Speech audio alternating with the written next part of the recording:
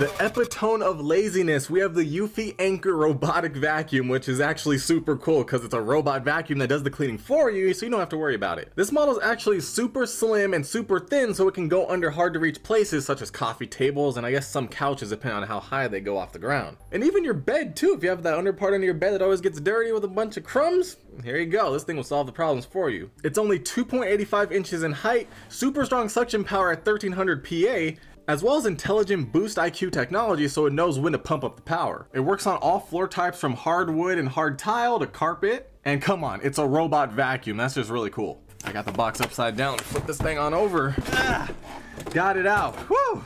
Welcome to hands-free cleaning. We got an owner's manual, a remote control, Nice to see that we have two AAA batteries included, charging adapter, the charging home base for the robot, an extra filter. Oh, that's awesome. It came with some zip ties so you can clear the wires out of the way for the robot vacuum. We have a little brush comb razor blade combo to clean out the bristles, four sets of spinning bristles to get all the stuff on the outside of the vacuum into the vacuum. And then we have the vacuum itself. That's it. Let's get that out of the way. Ooh, this thing's looking nice. Well, this thing is real thin. Okay. Ooh, wow, I'm liking the way this looks. That's like a nice wooden look finish, although it is a glossy plastic. Like, just look at that. We got some wood grain action. That's awesome. And just look how thin this thing is. Wow. On top of the vacuum, we have a power button. We have a Eufy logo. Got some foam in the sides. Let's get rid of that. Over here on the front, we have this nice gloss which hides all the sensors so it knows not to fall downstairs and run into walls. I'm thinking this is so if it hits a wall, it's like, oh, we hit a wall, let's turn around. Although usually they have sensors, so I'm not sure. Guess we'll find out.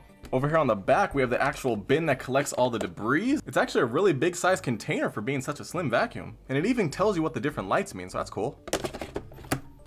Easy to put on and remove. Down here on the bottom, this is where things get more interesting. Down here on the bottom, we actually have the on and off switch, which is like the main switch, so you can turn it completely off if you have to. You know, in case robots try to take over the world or something. We have this big spinning brush right here, which actually does all the sucking power to suck everything into the bin. And then we have these big wheels here, which as you can see, they got some kind of hydraulic looking action going on here, so it can go over bumps and lumps and go over everything to get to where it needs to go. And then right here it looks like we have the actual battery, which you can unscrew in case you need to replace it one day. And then down here on the front, we have the spinning wheel, which goes 360 degrees so it can turn around anywhere it needs to go. And then we have the two charging pin connectors that connect to the base and charge up by itself which is awesome. And then right here on the left and the right of the front is where we're gonna install these brush heads. So just pop it in just like that and just like that. So these things can spin around, pull everything around the vacuum into right here so it can go over it and suck it in right here. Science. So really, this thing is awesome. Let's power this thing on.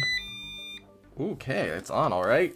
Up top, we have the LED light means we got power. The one thing I noticed about this particular model is it doesn't have an app support, so you actually have to use this remote control to control it, which kind of sucks, although if you don't care, then I guess it's whatever. I personally prefer to have an app, because then you can control the vacuum from anywhere around the world if you really want to. On the bottom of the remote, it actually tells you what the different icons mean. You can adjust the suction power, start spot cleaning, start edge cleaning, start single room cleaning, and return to the charging base, just by pressing a button. So on the screen, we actually have a bunch of stuff going on. We have the current time on the top, down here's the time we want to schedule to clean, and if I tilt this for you guys, you can see all the different settings that can pop up. We have standard, boost IQ, max, and then the different options right here. Let me actually get this base plugged in so we can test this thing out on the table real quick. So set up the base right here.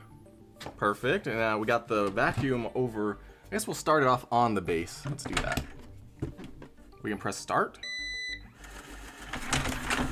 It's starting, okay.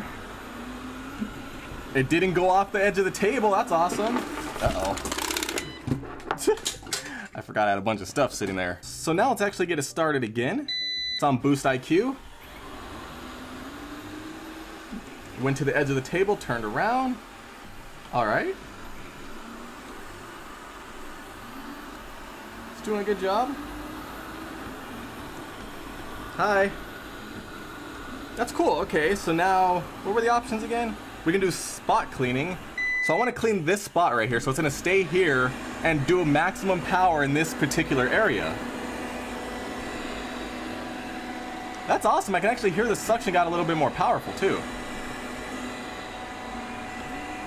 And now I'm gonna do a crazy test I like to do with robot vacuums. We're gonna set this thing up here randomly. We're gonna move the charging base right here at an angle. And now I'm gonna press return to home and see if it can find the base. So the suction is actually off right now as it seeks the base, and okay, it looks like it's actually doing it.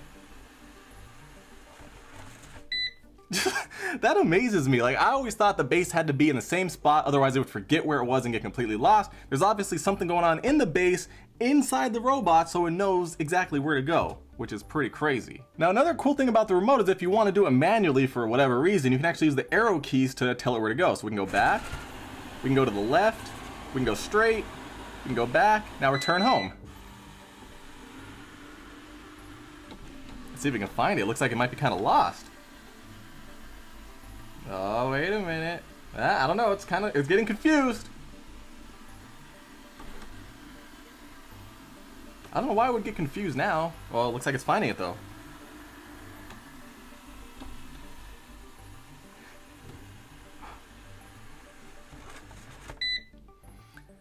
You know what guys, I don't know how it does it. That's very impressive to me. It knows exactly where to line up to get to it.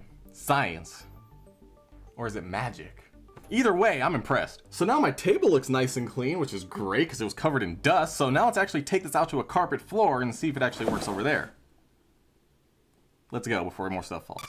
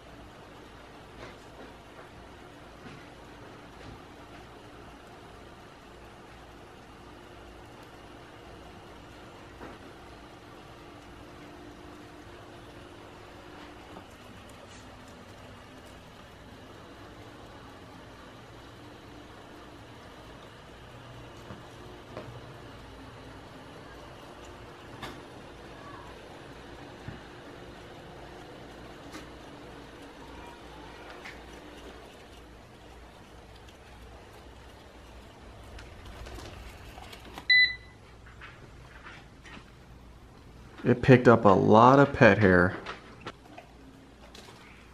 Yeah.